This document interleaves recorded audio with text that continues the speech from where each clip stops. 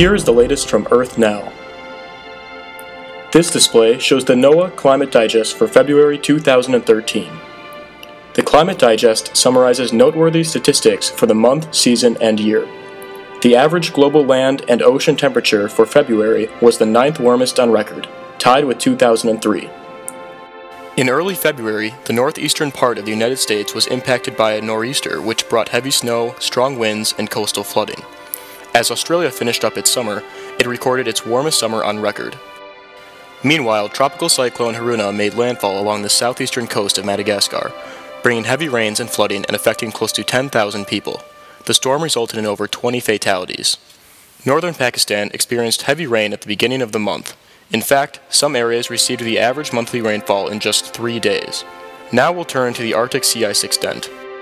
The February sea ice extent for the Arctic was 4.5% below the 1981 to 2010 average. This makes it the seventh smallest ice extent on record for the month of February. Finally, we'll travel all the way to Antarctica and discover that its sea ice extent for February was almost 26% above the 1981 to 2010 average, making it the third largest ice extent on record. This real-time dataset is updated monthly and shows the global land and ocean temperature anomalies. Anomalies are simply departures from average. Blue colors indicate cooler than normal temperatures, whereas red colors indicate warmer than normal temperatures. White indicates near average conditions. We'll take a look at three areas. First, we can see how much of the United States was close to average for the month of February, with the southeastern U.S., northern Alaska, and Hawaii being below normal.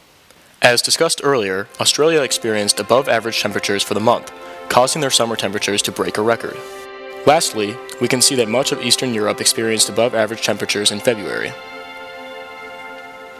This real-time dataset shows sea surface temperature anomalies measured by NOAA satellites, Blue colors indicate cooler than normal temperatures, whereas red indicates warmer than normal sea temperatures.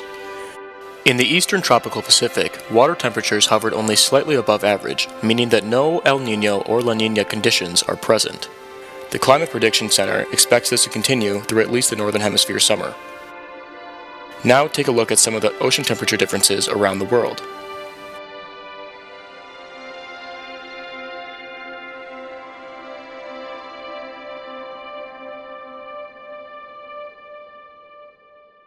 This real-time dataset collected by microwave sensors on NOAA satellites shows snow and ice cover updated daily. Watch the progression of days and note the retreat and expansion of snowfall. Eurasia experienced above average snow cover for the month of February. In fact, at 776,000 square kilometers above average, the snow extent in this region was the 18th highest on record. North America's snow cover extent was also above average. It was the 14th largest February snow extent on record, at 543,000 square kilometers above average. And that's your February 2013 Climate Digest. For more information, please visit the website shown at the end of this video.